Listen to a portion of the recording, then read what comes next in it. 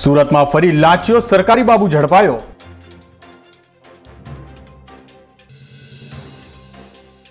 વીસ હજારની લાંચ લેતા સરકારી બાબુને એસીબીએ ઝડપ્યો.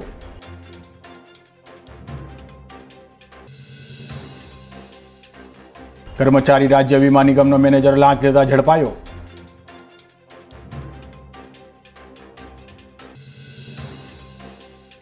મૃતક કર્મચારીની પત્નીના પેન્શન મંજૂર કરવા માટે માંગી હતી લાંચ.